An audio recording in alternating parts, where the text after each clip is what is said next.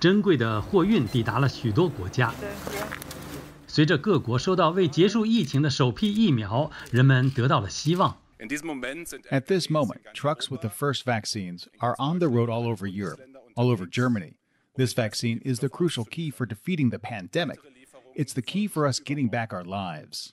但是在英国出现了一种新冠病毒变异毒株，这种变异被认为具有更强的传染性，但程度却没有更严重。不过，这种变异病毒现在已经传播到包括西班牙在内的其他国家。That the cases detected of the British strain came through the Madrid airport. Sometimes you have to remember that we have been stressing the importance of controlling the airport for the last six months. 机场也是让美国官员感到担忧的问题。在圣诞节来临的这一周，尽管有医务官员发出警告，担心新冠病例激增。但每天仍有超过一百万人次飞行。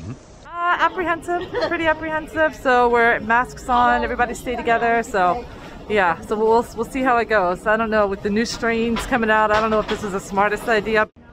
这种病毒继续向新的区域进发，迫使有资源的人们帮助需求者。在泰国，官员们在虾市场内建立了一家拥有三十张病床的临时医院。医生希望能够接触到孤立居住在市场周围地区的移民工。